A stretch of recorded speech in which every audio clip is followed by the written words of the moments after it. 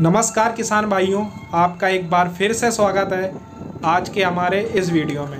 दोस्तों, Mahindra 575 XP plus tractor है और उमिया कंपनी के एम बी प्लाउ पे चल रहा है।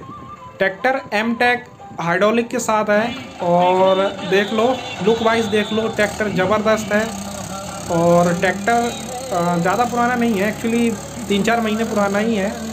2022 का है ये मॉडल और परफॉर्मेंस देख लो, आपके सामने है।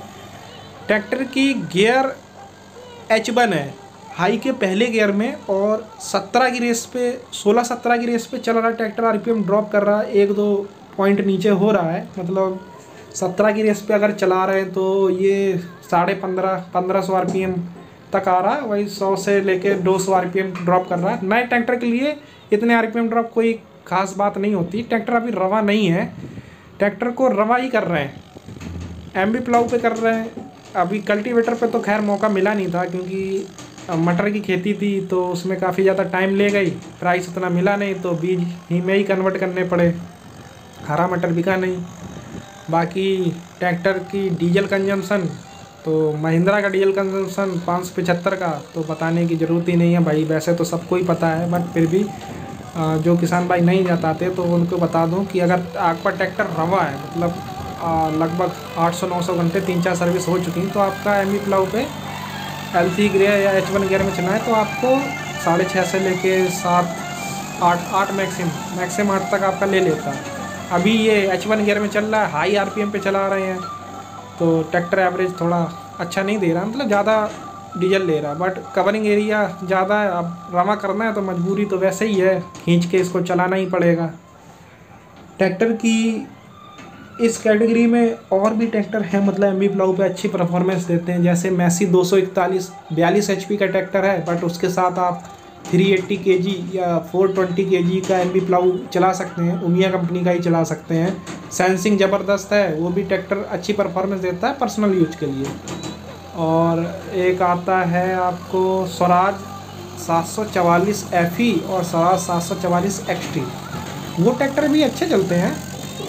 अच्छी परफॉर्मेंस है उनकी, कोई मतलब कमी नहीं है। डीजल थोड़ा ज़्यादा लेते हैं बट कवरिंग एरिया उनका अच्छा है।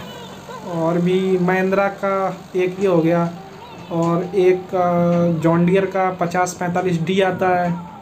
उसकी भी अच्छी परफॉर्मेंस है। बाकी आइचर चार सौ पिचासी उसकी भी अच्छी परफॉर्मेंस है, उसका भी वीडियो हम आपको पहले हैं, उसके पढ़े हैं, आप देख लीजिए अच्छी परफॉर्मेंस है ट्रैक्टर की। और ये रीजन जो है काफ़ी वीडियो में पहले ही बता चुका हूँ कि बुंदेलखंड का रीजन है। हार्ड मिट्टी पाई जाती है हमारे इधर। ट्रैक्टर दबाए मानते हैं तो ज़्यादा हाई आरपीएम पे हम लोग एक्चुअली इसको नहीं चला पाते। हमें लो आरपीएम पे ही चलाना पड़ता है, क्योंकि हाई आरपीएम पे ट्रैक्टर चल जाते हैं बट आरपीएम ड्रॉप करते हैं, आगे से जंप मारते हैं तो उनकी कंट्रोलिंग थोड़ी मुश्किल हो जाती। और इसके अलावा मिट्टी खेत की देख लो, पलटाव देख लो, मिट्टी में एम बी पिलाऊ लगभग जा रहा, दस इंच से प्लस जा रहा कहीं कहीं एक फिट पे भी जा रहा तो जो डिपेंड कर रहा है मतलब क्या है, क्या परफॉर्मेंस है ट्रैक्टर की।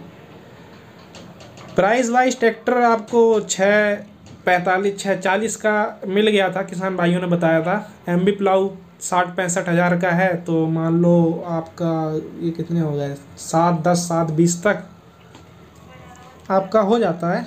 ट्रैक्टर अच्छा है कमेंट करके बताना भाई कैसा लगा वीडियो नमस्कार।